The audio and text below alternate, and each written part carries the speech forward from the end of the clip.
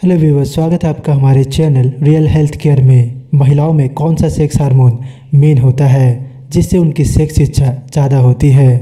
तो चलिए इसका आंसर जानेंगे इस वीडियो में। महिलाओं में main sex hormone estrogen and progesterone होता है। साथ ही महिलाओं में टेस्टोस्टेरोन हार्मोन भी बहुत ही स्मॉल अमाउंट में मौजूद होता है बट ज़रूरी होता है।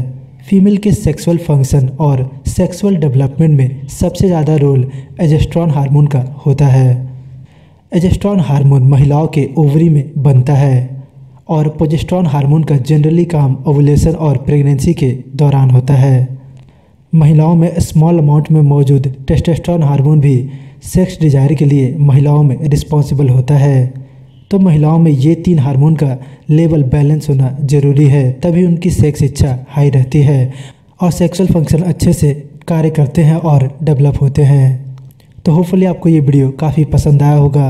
अगर पसंद आया तो इस वीडियो को लाइक कीजिए और हेल्थ से जुड़े और भी वीडियो देखने के लिए चैनल को सब्सक्राइब कीजिए। Thank you